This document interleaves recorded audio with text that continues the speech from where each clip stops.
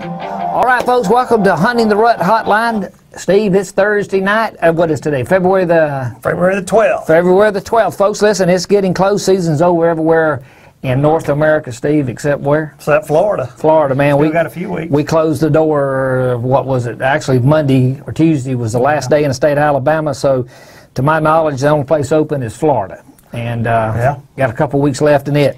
So, folks, listen, it's, it's all wounded up, winding up, wounding up. That's good grammar. And it's all coming to an end for 2014 15. But, Steve, as you used the analogy a few minutes ago, this thing's fixing to kick off on a whole new semester, and we're going to talk about that tonight. Even though season's ending, folks, we're going to talk about tonight getting ready as what deer are going to be doing for the next 12 months, actually about seven months, eight months, before you can get back in the woods again and hunt them again. So, folks, stay tuned, and when we come back, we're going to jump into this thing. And, guys, listen, we want you, if you have a question about hunting the rut, leave us a comment below as you see, and we'll answer it during the streaming live broadcast each week. So, don't forget, you have a question on hunting the rut, leave us a comment each week below. You'll be able to see it, and we'll answer it live, your question live, during each week's streaming broadcast. Folks, stay tuned. We'll be right back.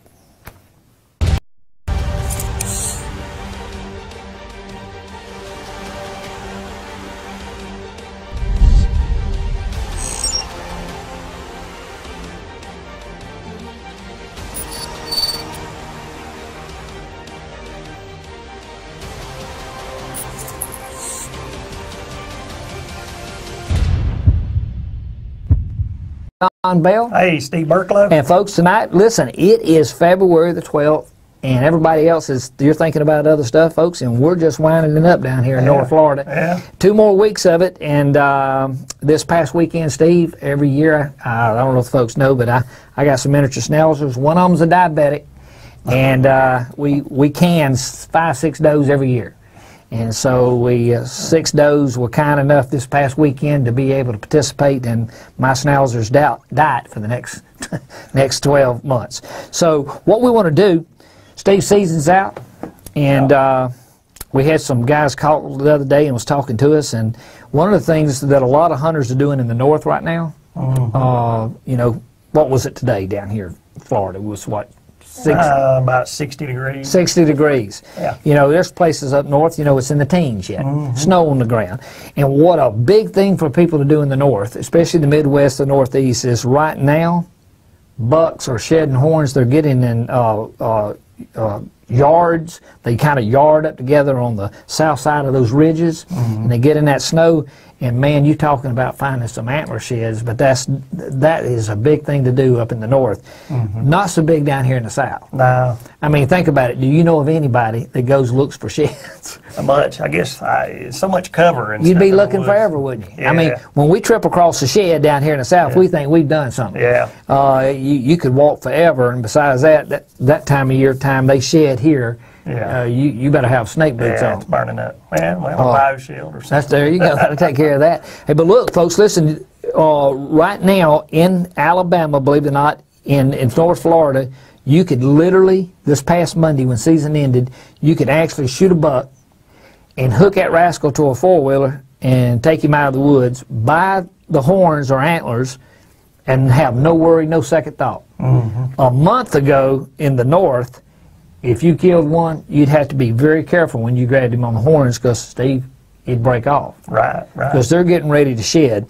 And so what we're going to talk about as this show's going to start getting back together in batch groups, which they're already doing all over the country. And then what we're going to start doing in future shows, Steve, we're going to talk to them in spring about what deer are doing in February, March, April, May, June. And right now they're getting together. And to use your analogy, they're starting a whole new semester, and it's a good analogy because they've had spring break, and now it's winding down, and they're fixing to get back together and re-establish another pecking order. Yeah. Uh, they're coming out of the pecking order during the peak of the rut, and now everybody's going to kind of come back down. All these young bucks are going to get together. No antlers, but the big boys still going to be in charge, and they're going to start learning about life. So, what we're going to do is talk about that tonight. And folks, listen, we want you to stay tuned. And I believe in just a few moments, guys, do we have a, our first caller up? I think Yeah, we do. There we go. Uh, we'll take our first caller for tonight. Let's see if we got him online. We do have him online. Make sure I mash it right. That's right. All right, you got Don Bell and Steve Burklow. Who we got? You know, that's the heart of the black belt, and historically, some fine bucks comes out of there. Steve hunts in that part of the world. I hunt in that part of the world. And there's some fine deer. Now, I say that to say, John, when, when are you having your worst time doing that? Uh, are you talking about pre-rut when they're having uh, secondary scrapes and rubs, or primary scrapes? When when are you? primary. I, I'm having a tough time catching them at the first, maybe about the you know the third week of January. I'm having a rough time catching them then. Well, there's there's a thin line. Um, you know, just before the peak of the rut, once he starts making that primary scrape at master bedroom that we keep talking about on the show, and he, he marks it by urinating in it, the doe, uh, she'll mark it. You know, a primary scrape's always underneath Steve, the, the overhanging limb, and but once they start uh, he's checking that. He's checking. And what you're saying is you can't catch him at the scrape. You're seeing him, you're seeing the results of it, him being there, but you can't catch him there when you're there. Right. You know, I'll check the lines. I'll see, you know, catch his trails on each side, and I'll set up in the right wind at different times of the day, and I just haven't, you know, I know he's probably outfoxing me. Well, yeah. Yeah. Uh, we had a lot of problem this year too in our part of the world. It was quite a bit different this year. It was. Uh, it's crazy. Tell them very- about It's very slow this year. Probably the worst. and As far guys. as seeing deer and seeing rutting activity was very, very minimal this year. What Steve's talking about, and Steve, you tell him is, which is crazy. This piece of property, you guys, have, you've managed it for years, Yeah. and even half of the property it's a difference in just in half of the property. Mm-hmm. And what the only thing separates the creek, Yeah. And yeah. it's his property, John, and but yet deer seem to be more on one side than the other. Yeah, they seem to be uh, rutting. Peak of the rut seems to be a little better on one side than the And other. you know, it could be covered, John. Are you? Right. Are, are you having, by any chance, are you putting a camera on the, the scrape? Are you seeing the buck? I have seen the buck. I had a camera on it. Um, he wasn't there at any that specific time. Um, you know, early in the morning to middle day to midnight. You know. Yeah, he's- You know, he didn't have an established time. Right, but he's checking it just no certain time. And Right. so, so uh, the reason I ask those questions is we'll go back to the uh, to. He's not so much nocturnal as he is just random when he's checking it. That's what you're saying, right? Yeah. All right. Then you need to kind of treat him sort of like if, if he was nocturnal. And what I mean by that is, uh, you know, uh, first of all, you know, you always want to kill your human odor. And John, are you familiar with the new stuff we just introduced? Uh, actually, I am. I have a bottle of the soap and the uh, spray, and I have been using it. And you know, to that effect, I've had younger deer and does. I mean, come within ten yards, have no clue I'm Yeah. there. Well, And I sit on the ground ninety percent of the time because Wow. not it's in. just too hard to get up the tree. Are you Right. bow hunting or gun? I am gun hunting. Okay. Yeah. Uh, so, having said that, you folks, and the reason we say that is saying about the uh, killing that human odor, and, and the new product that we have called Scent Defense not only kills the human odor, but Steve, what all else does it Uh, it repels mosquitoes, ticks, all that. All Plus- of that. Plus, the deer love the smell. Right. So it's formulated not only John is and everybody as a uh, odor killer, a better odor killer because we married copper with silver, Silver. and then it also is an all natural repellent. The industry's never seen this before, folks, and it not only does that, but it repels and kills fleas. Ticks, mosquitoes, black flies, Yep. uh, bed bugs. Any kind of biting insect. Plus, it's formulated, John, to where deer come to it. Now, so having said that, I want to get back to y- your question. Kill that human odor. You're doing it right, folks. You got to do that. And now you got something that you can be comfortable doing it. Not only protect yourself, but be comfortable in doing it without fighting the mosquitoes. But I treat this buck as just like uh, old Steve here was a dominant buck, and he was nocturnal. I'd kill that human odor, and I'd go in there. Uh, you know, two, three. You're, you're close. How far are you from where you're hunting? You're not far from where you're hunting if you're living in Camden. No, maybe 10, 12 minutes. Man, I'd get up and go. You know, if you go hunt Saturday, get up Wednesday, go in whatever time. It don't matter. Lunch, before you go to work, uh, kill your human odor, go in and put buck urine in it. Leave. Uh-huh. He'll come in and he'll come in no matter when he comes in, he's going to check it. There's going to be another buck in there, Old Spice. He's going to tear it scrape up. And if you put a camera on this, you really see it. You'll see him reacting to it and then him remarking his scrape. So it'll be at midnight. Well, next Right. morning at the same time, very important, if you do it going to work, do it each morning at the same time. Then the next time you see him, it may be 3 o'clock in the afternoon. But each time you do that, you do that Thursday, Friday, Saturday. Saturday, you trail your buck urine in, kill your human odor, trail your buck urine in, get up in the tree and grunt. You know, put it in a scrape and grunt. And w- what you're doing is you're making him come closer to to catch that other buck in that scrape. Top secret is oxygen free, which makes you be able to do that. If you used anybody else's scent, it's already ammoniated, mm-hmm. Steve. They don't know when the deer's been there. Right. It's just, it's, you know, it, you, you think about it, it, even if you go pour it out and sit down, it's ammoniated urine.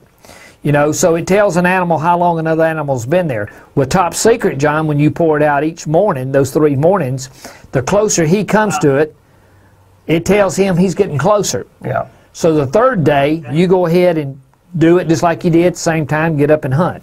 Yeah. Right. So his nose, that's designed to help him, will get him killed. Right. Right. You know, so uh, of course, you know. Go ahead. One thing about the, the top secret, I did use it. I was in a, uh, I walked into a grain field that we had, and I had trailed some of the buck urine. I kind of made a circle around there, and um, I wound up shooting a cow cowhorn spike, but he came out and he was nose down on it. Yep. He just he followed basically everywhere that I walked. I mean, he came and gave me a nice broadside shot. Yeah. Yeah, I mean, Nice, you know, nice deer. But I mean, he was on that stuff. I mean, I mean, he was heavy on it. My brother and I, I don't know if he told you, but Mike and I did that. We, uh, he went out, he grunted while I took my bow and we foamed it in, come in middle of the day, middle of the day hunt, and 30, 40 minutes, Uh-huh. uh, Mike was videoing and we had a young four point or six point come in 20 yards, just where we laid Yep. the trail. If he, uh, you- if he would have been a good buck, we would have had him right there on video. and you were using the the scent- foam. the foam, the We- actually, we're using buck and hot mama foam. combination. Yeah. What were you using, John? Were you using the foam or the liquid? Um, I was using a liquid on the drag. Okay. Yep. Uh, it has great application. Same stuff, different applications. You know what Steve was doing? He was foaming estrus buck, estrus buck. So when you grunt, what you're saying is another buck's tending a doe, which is whose doe is his doe. So you that's a buck chasing a doe. So when you do that and everybody and you foam buck urine and then estrus, buck estrus, you got a buck chasing a doe. Mm-hmm. It's just that simple, and it's it's it's not overthought. But each time Steve foamed it, it's the first time it hit oxygen. Mm-hmm. Which the key to it is, John, and everybody's listening.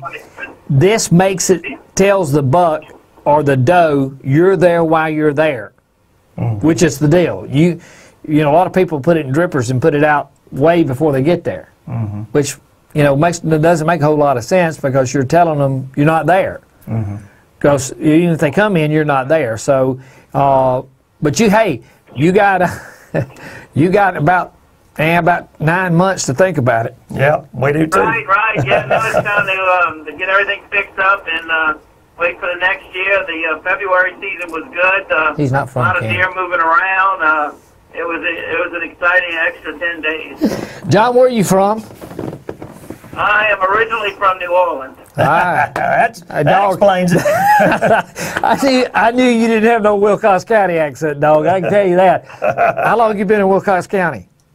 Uh, since 2005. Hey, it's a nice place, ain't it? yeah, that's when we bought our place up there, 2005. Wonderful place. All right. Well, we- we're glad you called in. And uh, listen, tell everybody about the show because what we're going to do, John, now, season's ending, you know, two weeks left in, uh, in Florida. And then we're all about what Steve's analogy is the new semester. Because bucks are already, you know, uh, losing the horns in the north. They're already yard, what they call in the north, Midwest, and Northeast, yarding up. And literally, I mean, you can find sheds just left and right underneath that snow. When the snow melts, they're just laying everywhere. Uh, but so we'll trail that, and we'll start talking about what these deer are doing, where you can f- understand them when season comes in. uh, back in this September and October this year, you'll be able to better understand what he's been doing all year in Camden, Alabama, or Minnesota, or wherever the wherever the listeners are from. Yeah. Well, Big J, we appreciate you calling in, man. Call back in, tell people to watch the show. Man, I do appreciate it. I find your show very informative. Uh, big fan, so uh, thanks a lot. We'll look Uh, forward to uh, the next one. Hey, hey, uh, John, make your way around the bypass there and tell everybody, man, they need to be they need to be stocking them some some uh, top secret bio defense, scent defense, and fog zero. Yeah. You- I'll do it. all right, dog. Appreciate it. Thank you for calling in. Hey, uh, Thank you, sir. Bye. Okay. All right, folks. We'll be right back. all summer to get everything just right. Don't leave the rest of it to chance. Use the finest deer urine ever collected and the only one in the market that is oxygen free from collection to bottle. Get ready. It's time to hunt.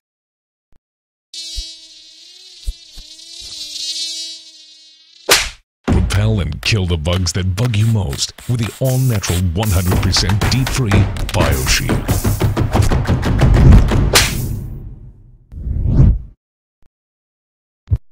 You've waited your whole life for this moment. Don't spoil your opportunity because of poor preparation. Keep your optics clean and fog free for a clear shot every time. Fog Zero. All right, folks, we're back, and listen, we're going to take us some quick Facebook questions. I want to correct myself, Steve. That's uh, it's not bio defend, but what? BioShield. Bio Shield. And so, guys, get you some. Uh, You can go to the websites now. They're all live. You can get everything. And uh, we're going to take us a quick Facebook. Uh, what's the first one? All right, we got Andrew Small from Hicksville, New York. How would you suggest hunting the rut in a brand new area that you never hunted before? Do you consider scrapes, rubs, etc.? Yes.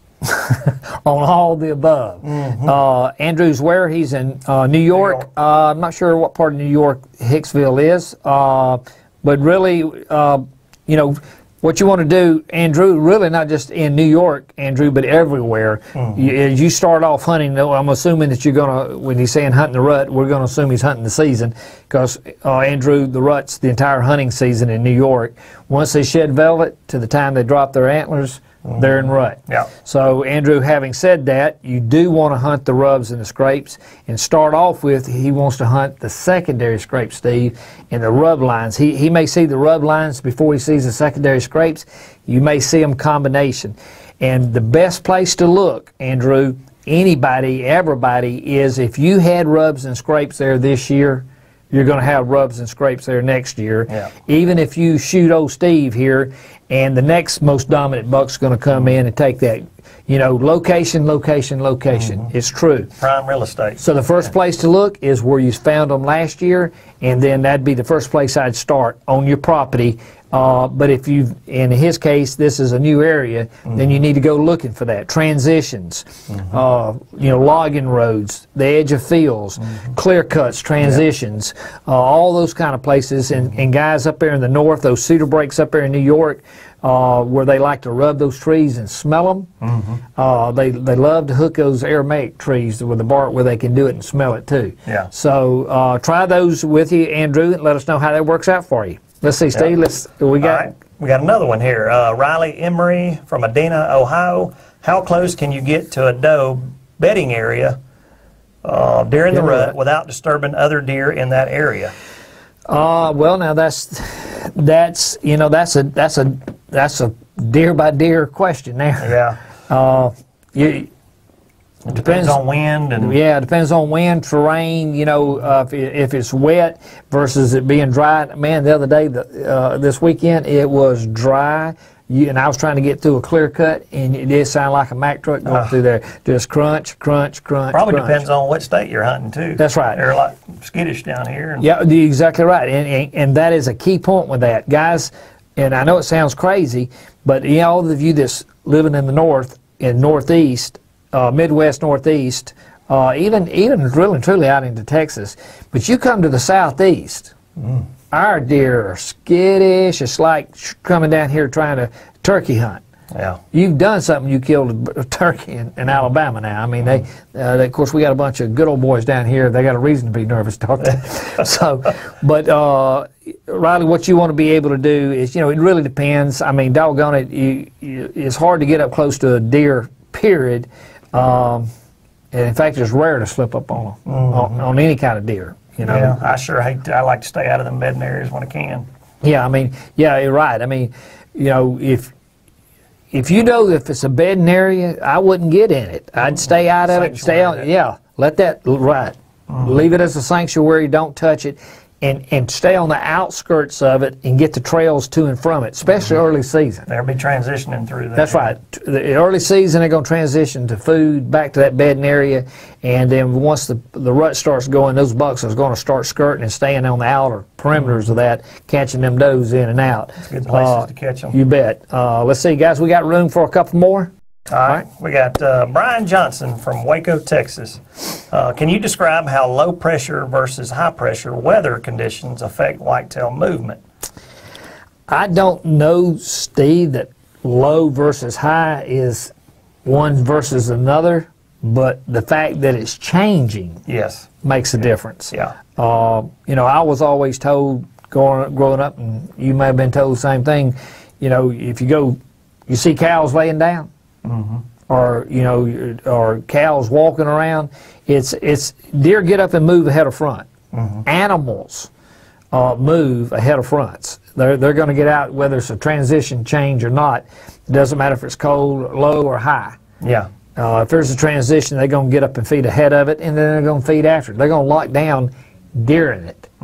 Uh, so, It's amazing how much they can move, though. The Oh, yeah. weather can change, and boy, it just get, it's just crazy. well, the, you know, it's, it's sort of, you know, guys, how it is. It, we, we're down here on the Gulf Coast, and if they say there's going to be a hurricane, you can't find food nowhere because every chef in the world got all the Vienna sausage off, sucked Right. off of it, all the milk, because they're they're gearing up for it. Mm-hmm. It's you know you see that in, in, in all, any kind of bad. Last week, two weeks ago, the big snow forecast up in New York. yeah. Everybody went in, sucked everything off, and there was no hardly no snow in New York City. Right. But the same thing applies for deer. They're going to get up ahead of those fronts. Any kind of front change, uh, feed ahead of it and feed after it. Uh, okay, guys, let's see. Get back here. We got. Can we do one more, or do do we go on? All One right. more? All right. We got Gabe Hanna from Mount Juliet, Tennessee. Uh, can you freeze the urine after it's been opened and exposed to oxygen? I would not. You can, but I wouldn't. Uh, and Steve, once you open it and it's exposed to oxygen, all you're going to do is freeze ammoniated urine. Yeah. The key top secret is that every bottle is oxygen free. Now, guys on that camera, you look at that right there, how yellow it is. Let me show you something we did. You see that bottle, how brown that is? You open that cap and close it, that's what it does. Except most people will do that, it'll be almost a chocolate. Because the longer it sits there, the darker it's going to get. So, what you want to do is hunt with clear urine the first time you use it. You want to be able to, to uh, put it in what, Steve? Scent saver. You want to put it in a scent saver like this. You open the bottle up, Pour it in there. you pour it into your scent saver, you plug it, Okay. and you simply pump it out. And now, in between using it, uh, Gabe, it takes all the oxygen out, and you're ready to go. Uh, show Steve, show them that little nipple on the top there, and where all you got to do on the top of it, uh, all you got to do is push or pull that little nipple that's sticking up in the center of it. You can see it right there. You can push or pull it, and it'll break. You hear it go. Shh. It'll break the vacuum seal That's right. You're ready to go. ease it right off without scaring everything in the woods. That's right, because if you don't, you're gonna sound it's gonna go pop when you pull it off. So mm-hmm. it's got the little nipple on it that you can push or pull. It breaks the seal. And the key to that, Gabe, is you want to be able to pump it out in between using it. Right. This is called a scent saver system. Your local sporting goods store can get it. You buy that, that'll last you for years. Right, and that will hold the whole bottle. That's right. Uh, I've had that question a lot. It holds all three Yes. ounces. So That three ounce bottle, everybody else, Steve, retails for twelve ninety five for one ounce. one ounce. We're fourteen ninety five for three ounces, and this entire bottle will fit into this bottle. You get the plug, the bottle, Yeah, and plus the the pump, and all, and you can use this over and over and over. In fact, what you can do, Gabe, is you can take this, you buy that set, and let's say you're going to put estrus in it. all right, you got uh, this one's buck urine. All right, so you put buck urine in this one. Well, you can buy just the bottle, Steve, Right. and the plug extra to get you one to put estrus in. Right. Same pump. So you got one for buck, one for estrus, same pump. Mm-hmm. Last you for years, so you can protect what you purchased, which is the Mm-hmm. finest deer scent the industry's ever seen. Oxygen free from collection to the bottle, and this you maintain and keep it without oxygen in between using. It'll Pretty- be good from now just until this season coming up. That's right. Yeah. Keep, you just keep it pumped out. And, You know, the way to look at it, guys, it's like wine, except don't drink it. I believe we got we got us a caller. Yeah. Big Tom, yeah, I guess we do. Alrighty. Alrighty, you got Don Bell and Steve Burklow. Who we got? Hey, this is Joel in Iowa, Mr. Joe in Iowa. What part of Iowa are you in, Joe? Northwest. Northwest. Northwest. What town are you in? Paullina. Molina. Uh, I was trying to think We're Knight Rifles. Uh, years ago, we we we had with Pratco, we had Knight Rifles, and I cannot think of the name of the town that Knight Rifles was in over there in Iowa. Do you remember? Knight Rifles, you're saying? Yeah, Knight Rifles, the black powder rifle. I'm thinking that was southeast though, southeast Iowa. That could be. Yeah. Are you from Iowa? Yes. Man, yeah. Ooh, I am Ooh-wee. that. Yeah, dog, you got you got an extra bedroom or two. We'll come hunt with you. yeah, dog. Hey, stay. I got you. I got you set up. I'll, Watch this. Hey, Shelby, get, make sure you get his number when we get through. That's right. What'd you say, Joe? I said, that, that sounds like a deal. Well, y'all come down to Florida, you come up here, we'll switch. All right, I There you guarantee you. go. Yeah. And, and and and we're gonna get the better end of that stick. Yeah. Well, uh, what kind of question you got tonight? Oh, I just had a question. I kind of put it on Facebook there too, but uh, it just seemed like whenever I'm I'm in the stand, uh, I see my other stands, and they always seem like they're they're running in them more than they're coming by me. I mean, the Right. other ones. Yeah, it's like getting in the you're getting in the wrong. bucks, you run into- Go ahead. I'm sorry. I said the nicer bucks usually I can see them coming. I can see them going. I can see the rubs. I try to put myself in that position. I end up seeing little ones, and Well, now you're guys. Everybody listening in, uh, is a different animal. Owl is flat, corn. You cut the corn. Uh, of course, they live in the corn till you cut it, and uh, you know you got the drainage ditches and the little wood lots. Uh, so I mean, but good lord, are you you gun or bow hunting? both. But mainly, uh, my question is about both. Bo, uh, are you having the problem, or what your the question is, you you got X number of stands and you always get in the wrong checkout line that had two people in it. Next thing you know, Yeah. That's what it seems like. Yeah. All right, what about your human scent? That's yeah, are you killing your human scent? I'm doing what I can. I got, Yeah. I've got uh, I got some spray that I put on, and, and uh, Well, um, are you familiar? Uh, I don't know if you watched last week's show. The past couple of weeks, we just come back from you know the industry. We just introduced new product for 2015, and we just introduced a new line, and uh, it's called Scent Defense, and it's three in one. The industry's never seen it before, and uh, it's it's pretty neat. It not only kills odor by uh, we married copper to silver, which is a better mousetrap in killing the bacteria that causes human odor. And then what did we do, Steve, to it? Well, we uh, we put a repellent in there that repels and kills fleas, ticks, mosquitoes, Right, and that's any biting insects. and that's called what? Oh, that'd be good. that- and listen, Joe, that's that's proprietary to us, and it's called You tell the repellent. the repellent oh, part. Yeah, the Nurex. the I'm sorry. Nurex. It's called Nurex, and that's proprietary proprietary to us. And look, you can uh, you can take a bath in it.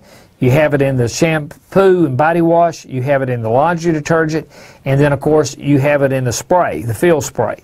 So for the first time, not only can you kill the human odor, but you can be able to repel fleas, ticks, mosquitoes, uh, bed bugs, any kind of biting insect. Plus, it is formulated. The best thing about it is Yeah, it's formulated as an attractant. they love the smell of it. It's it's- absolutely wonderful. It's crazy. Uh, they cut. What do they do when they come into Boy, it? they come licking. Just It's they stick the tongue out instead of st- sticking the nose up. They'll stick the tongue out and kind of lick their nose. Yeah. It's like, and listen, what's crazy about it is even the fawns do it. Even it don't matter the age, doe, bucks, they all do it. They all come in doing the same thing. So people ask, well, why? Another question. Yeah. If you've got that and they're and they're smelling it and they like it and they notice it, if you're up in the stand, does that bring their attention to you to kind of kind of lock you in? You know. No, you you got two different things going on. A urine, uh, this is more of a uh, curiosity type scent rather than a uh, Infringement scent. yeah, rather than a urine-based infringement or sexual type uh, attraction. So it's two different two different things going on. Uh, but we've been able to marry all three of them together. Uh, by any chance, do you turkey hunt? I do. All right. Uh, you, we've got another product we just introduced called uh, BioShield. It is Neurex. Uh, and that's the same thing, but for the first time, it's all natural. Look, uh, you can spray it on your hands, wipe it on your face, you can put it on your child's face. It's not going to harm them, and it, it repels any kind of biting insect. Mhm. But, ticks also big. yeah, big time tick. Yeah. Now, but the key to it is, is we also have it for the first time while you're turkey hunting. You know to kill your human odor to go hunting. You know to take a bath. You know to wash your clothes and spray it. We now have it in uh, BioShield to where you can spray the repellent, but you also can take a bath and you can also wash your clothes. It's neat, and uh, it. That- That's something I've never done with turkeys. So I mean, do they have that great a sense of No, no, no. You're not worrying about the scent. You're worrying about the doggone mosquitoes taking you off or them Or the ticks, ticks. eat- Oh, eating I you up. you. Yeah. Yeah. So what you're doing is it doesn't have the human body odor in it right. because it, you're not worried about your humans. It is a very pleasant, almost like a uh, honeysuckle lemon. you is know, what I- honey, yeah, almost like a honeysuckle lemon kind, very pleasant. And so what you can do is is you can take a bath. You got three layers of protection. Hey, you're gonna take a bath before you go hunting anyway. So you have it. You have it to where you can wash your clothes in it, and then you can spray it on you. So you know, and think about it. This is available now. You can go on the website and get it. Uh, it'll start shipping nationwide uh, three one to dealers around the country for turkey season, and so you'll be able to. Uh, you, you literally, you can send your kids off to school. They got to take a bath and they got to wash their clothes. So the, everybody that works in the woods, outdoors, Oh yeah. this is a Cast Me Owl right here. So it's brand new, and uh, it's being advertised everywhere. Uh, You know, on all three networks: Outdoor, Sportsman, and Pursuit Yeah. channels. Look for BioShield right now. Yep, BioShield and Fog Zero. Uh, Yeah, I like I like the repulsive bugs. That'd be a that'd be a help. Oh, listen, uh, you'll you'll like it, and you'll like the smell of it, and it's totally different. You can do the uh, body wash. You can wash your hair. Uh, you can wash your clothes in it, and you can do it every day. Uh, by any chance, what do you do for a living? Uh, salesman. Salesman. There you go. Yeah. Uh, listen, this stuff is pleasant. Uh, at trade shows, we have a lot of ladies come by and we give them some to go wash their hair. They look, they look at us like we're crazy and they come back and they say how much they. Steve, what do you use every day? I, I, I wash with it every day. It's, it's nice. It really is. You'll get, you'll get hooked on it. Yes. Uh, it's good stuff. Try it and look. Uh, call back in. Tell your friends about the show, and because we're fixing to make a transition now, and we're going to start talking about seasons. Two weeks left in Florida. We're done for 2014, 15. Now we're going to start talking about what these deer are going to be doing next fall in Iowa, as they're already bunching back up together there in Iowa. I mean, uh, have you already been shed hunting? You know, I haven't made it out yet, but it's thinking, Too cold, ain't it? Yeah, I bet. I bet. I I've, mean- been ice, I've been ice fishing right now. So. Now, ain't Wow. that- now, yeah, listen, son, you, you can't you can't tell these two boys to drive out on a lake Uh-uh. and to cut a hole in doing it. No, sir. Our sales manager, you can't make this up. He told me the other day, last weekend, he took his little boy uh, fishing, Yeah. three and a half foot three and a half feet of ice, right? So they just drive out on the lake. That's the first mistake. Oh, yeah. That's a bad decision right there. Cuts a hole, puts a line in it, and they're having a big time. He drops his cell. He's talking to somebody, and he drops his cell phone in the hole. Oh my! Oh, I've seen that happen. Uh-uh, man, we don't we don't fish in the hole. Come down here in the Gulf, and we'll show you some fishing. Yeah. Oh, I'd like that. I've been there fishing. That's uh, I love I love deep sea fishing. Hey, uh, we, we, we need to we need to swap stuff. That's hey, right. listen, we appreciate you calling in. We're going to take a quick commercial break. Call us back. Tell all your friends about the show, and uh, tell them to call in each week. We'll do. Hey, man, All thank right, you for thank you so calling in so much. Thank you, thank you, sir. Bye bye. Bye bye. All right, guys, we'll be right back. We're going to take a quick commercial break, and we'll come back and we'll talk all over again. From Don Bell, the founder of Code Blue, comes top secret reserve doe estrus, the finest doe estrus ever collected. Top secret oxygen-free collection process is a complete generation above Code Blue. Our patent pending collection process means no ammonia and no ammonia smell. At a limited quantity of 12,000 bottles, only one tenth of 1% of hunters will be lucky enough to add Top Secret to their arsenal. Visit TopSecretDeerScent.com today and join the one tenth of 1% club. All right, folks, we're back. They're trying to. We had a different one telling us a countdown, and we didn't know if they had sign language or what they were doing.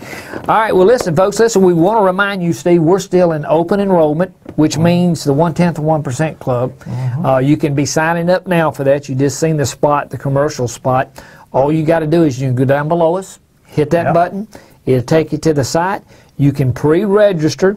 You can uh, pay for it over four payments uh, and say, hey, uh, ship us, ship me my bottle. of Boy, just call now. Yeah. He can say, ship that to me next August November, August, September, November, September, whatever. whenever. So it'll pay for it over four payments. You get to be a one tenth of one percent club member. You get to participate in all the stuff that you see on the screen. It's a great deal, folks. Go ahead and be signing up now for the club membership, open enrollment, and that'll go through about the middle of March, mm-hmm. and then we'll we'll be cranking in a different direction. So stay tuned. Go ahead and join that club. You can see the button there. Hit it. Take you to the site. Pay for it over four payments. Or you can uh, you can pay for it one time if you want to. Yeah, you yeah you can pay for it once and say ship it next year because you don't want the you don't want the scent now. No. You want the fresh stuff. So what you want to be able to do is to say I want it. You can buy it, or one time and with a future ship date whenever you mm-hmm. choose, or you can hit that and pay for it over four payments, mm-hmm. and and say ship it to me this coming fall. That way you secure your 26 ounce. There's only 12,000 bottles, thus the one tenth of one percent club. Now, folks, we got it in estrus and we got it in buck, and we do not have 12,000 bottles of buck. The buck will be the first to go. Uh, you got way less buck than you got estrus, because think about it, it don't take that many bucks to service X number of does. So you always have less bucks than does. And uh, believe it or not, it's a little harder to collect the buck here than it is the doe because he's a little more irritated with the process. So, uh, so go ahead and get signed up for it, folks. And uh, we're going to do something a little bit different here now. Uh, this past weekend, Steve, Yeah. we uh, I don't know five six does. We we do it every year toward the end of the season, and um, we Derek, my son, he loves to cook and he loves to fool with game. Big trapper, and uh, he sent us a, a meatloaf recipe, and I believe guys are throwing it up on the screen there. This is a, if you like venison and you make hamburger meat out of it, this is posted. It is a great meatloaf. In fact, when we get through with this show tonight, and I drive to the house, I got waiting on me when I get there a venison hamburger. And we just that old boy that old boy hit the ground Saturday and he's ground up and he's waiting on me when I get to the house tonight. Get out it, here. it is good. it is good. And folks, those of you that make hamburger, uh, you want to run about well, I- what I do, Steve. We put about fifteen percent pork Mm-hmm. with the with the uh, deer. Yeah. That's fine. Oh yeah. I mean, good. I know I'm telling you, that's some good stuff there. You got just enough pork in it that it, it keeps it together and keeps that, that lean meat moist. Uh, so, uh, guys, hey, you can see this. You can come back to the show. You can. Uh, can they freeze that on the show? You can come back and get this menu, write it down, try it. You're going to enjoy it. It's some good stuff. And that is actually Derek's wife's April's recipe for this Okay. stuff. Pretty good stuff, you guys. You try it out. Uh, guys, we'll be back in just a second. Guys, we're going to another quick commercial break. Nope. Nope. Okay. Can Okay. we, we got time for some uh, Facebook? right, Facebook, got good. We- guys, we're trying to catch up with Facebook. You guys ask us how you get into mine, and uh, so we're, we're, we're trying to squeeze these old boys in there. Yeah, see what we got? Here. We got Jason Fate from Milwaukee, Wisconsin. Is there any chance possible? Is there any chance possible that bucks can be patterned during the rut? Uh, the answer to that is yes, because the rut is the entire hunting season, pre, peak, and post. But again, Jason, that's real important to understand that pre, peak, and post. The rut's the entire hunting season in Wisconsin. Uh, Milwaukee, you're up above Buffalo County up there. Uh, I'm assuming that you're hunting up in and around Milwaukee. But uh, that, Steve, that what he's asking, is there any chance that bucks can be patterned during the rut? The answer is yes during pre-rut, way harder during the peak of the rut. Yeah. Because they're running, they're checking, Yeah, uh, they're searching. Um, and though they have a home base of that primary scrape, once it gets to the peak of the rut, they're everywhere. They're distracted. And, They're distracted, and I mean, you know, it's just like, uh, Jason. I don't know how old you are, but you remember. Now you're old enough to remember a Super Bowl. You know what a Super Bowl is? You don't remember Super Bowl? uh, Tom, you remember Super Bowl? Get out of here. You remember? No. A Super Ball is a little black ball. Literally, you could drop it and it'd bounce all over this room. Okay, I've seen Hey, something like you that. You just drop it and it just it'd go forever. If you threw it, it'd kill you. A buck's like that. Yeah, yeah. Uh, yeah. Jason, pre-rut, you can pattern him on the rub lines and the secondary scrapes.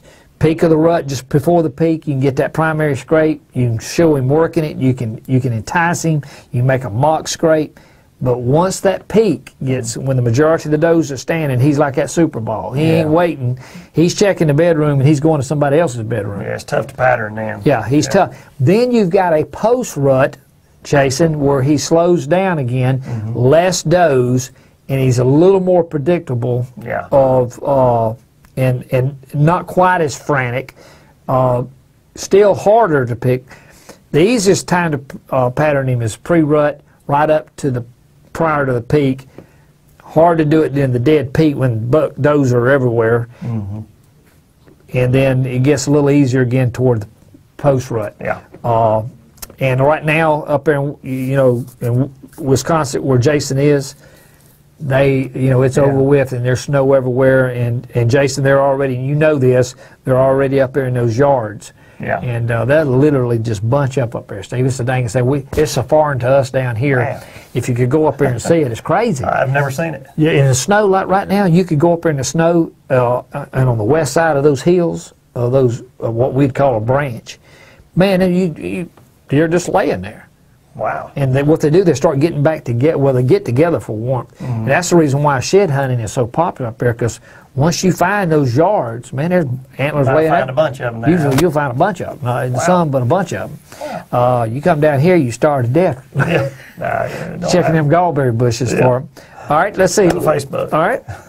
Taylor Douglas, uh, Winona, Minnesota. Can you explain how the rut lockdown works? Taylor, Yeah. uh, you see rubs. I'd love to tell you I could tell you that. I'd be flat lying to you. Yeah. Uh. I, if we could put that in a bottle and sell it. it happens we- in Alabama. I yeah, tell we, it happens everywhere. There's just doggone it, and I can distinctly remember it happening in Alabama. Mm-hmm. Uh, and our lockdown period is December. Mm-hmm. Doggone, you just tracks everywhere, no deer. Uh, and you would think on your piece of property that they're locked down on your side. I mean, Yeah, I'm telling you. it's crazy, and sometimes you scratch your head. There's no rhyme or reason for it. Uh, but uh, Taylor, the short answer to that is, I'm not 100 percent sure. Honest, and that's just being honest with you. Uh, They do it for sure. they do it, and It's and I, different everywhere. we've got all kind of people telling us different reasons why. And I tell you the truth, uh, that varies from uh, area to area, state to state. A lot of it is, you know, can be weather, it, terrain. There's just a lot of things going on, but I don't know. I mean, I, we we need to try to, even though we try to find that out. Somebody's asked us that before. Yeah. I don't have a real good answer for it.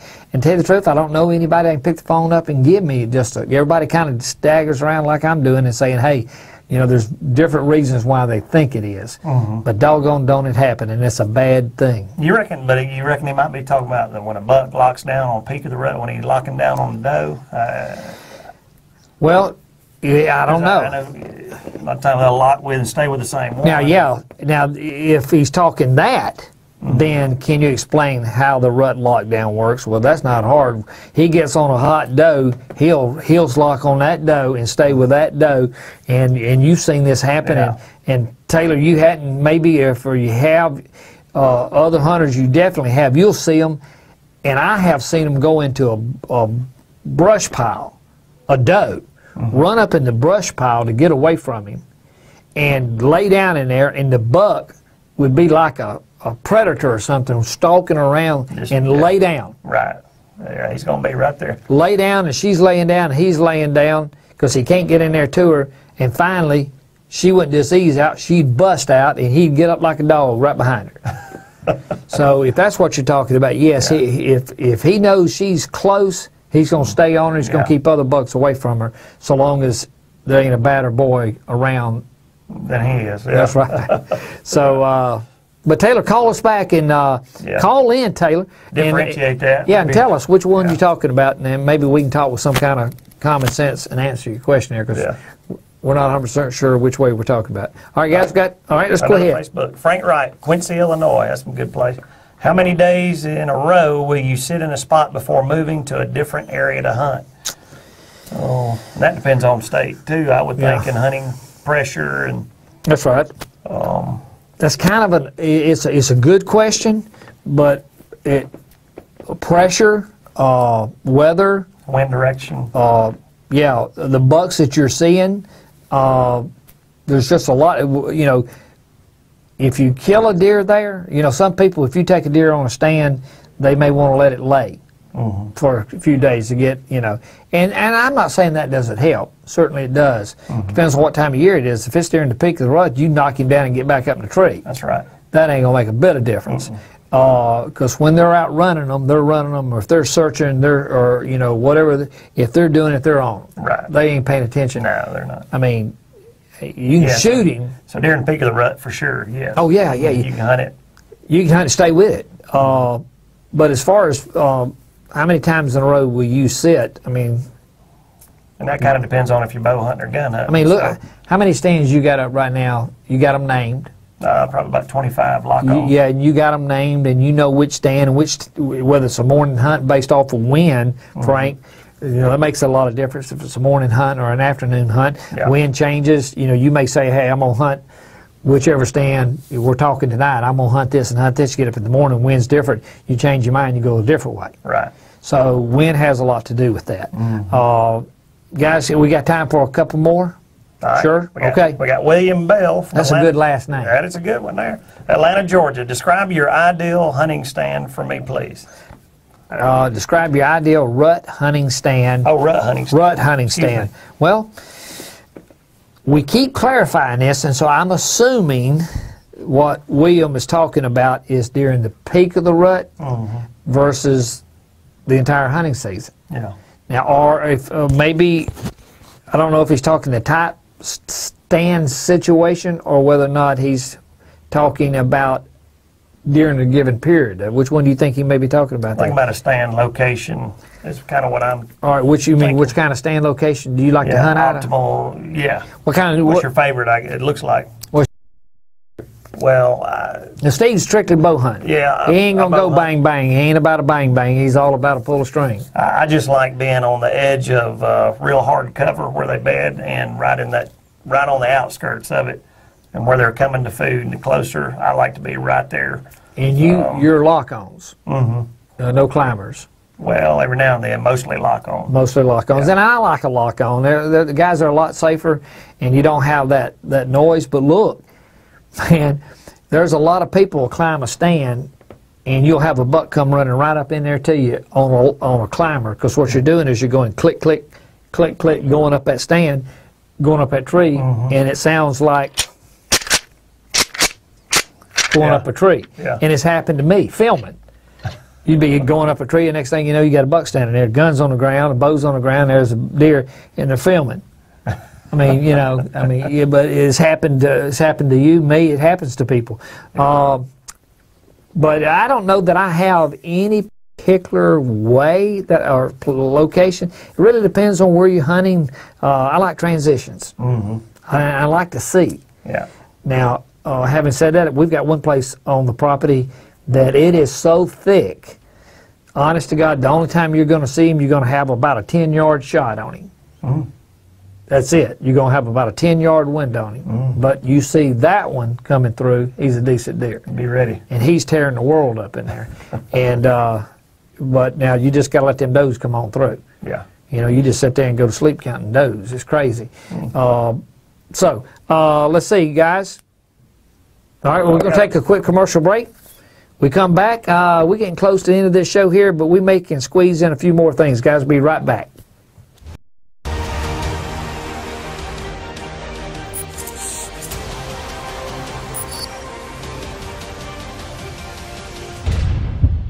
Rise and shine.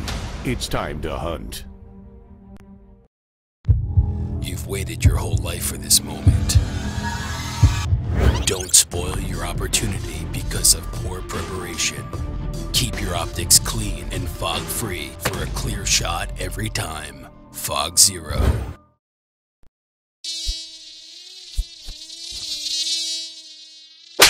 Repel and kill the bugs that bug you most with the all natural 100% DEET-free BioShield.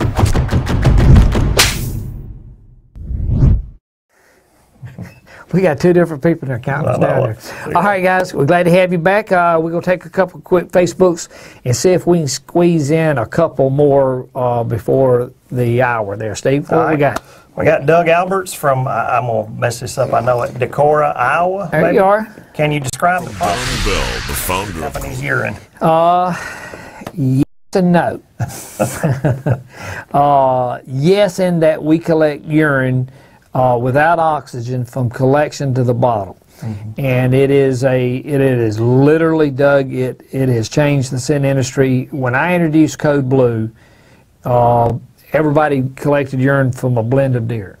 You know, 55 gallon drum, a whole 55, a whole 7,040 ounces in a bottle 7,040 one ounce bottles of urine. I used to bottle Tink's, and we used to I used to batch 10 drums a day, 70,000 bottles a day. All of them smells the same. Code Blue was one deer, one bottle. So what we've done is we went above that, mm-hmm. in that ours is no oxygen. Mm-hmm. And it is a game changer. So for the first time, Doug, One deer, one bottle, no oxygen. no, uh, Yeah. you can take that right there, and it can sit there forever and not change. But if you open it and close it without pumping it back out, it's going to do that to you. It's going to turn dark. Mm-hmm. So that's the same product. This is both buck urines. Simply open the top and closed it, and there's the difference. Mm-hmm. Now, if you open this and put it into the scent saver like Steve showed you earlier in the show and pump that out, it'll stay like Stay, this. yeah. So then you can use this bottle all the way down, and you pour it all in here and pump it out between using it. You can use this bottle all the way down, all the way down. It'll still be this color, and it will not be this color. This says the deer was there. That's what everybody else has got, is mm-hmm. ammoniated urine. Right. Steve. That says the deer was there. This, Doug says the deer is there, and he's there right now, which is when you're there. Now, Mm-hmm. And that's when you want him there. common sense. it ain't complicated, Yeah. is it? You want the buck to be there, the deer to be there when you're there. Yeah. A predator wants to know when the animal that he's trying to kill is there, not that he was there. Mm-hmm. He don't get down and start crouching up there if the urine's old, Yeah. because he has nothing to crouch up on.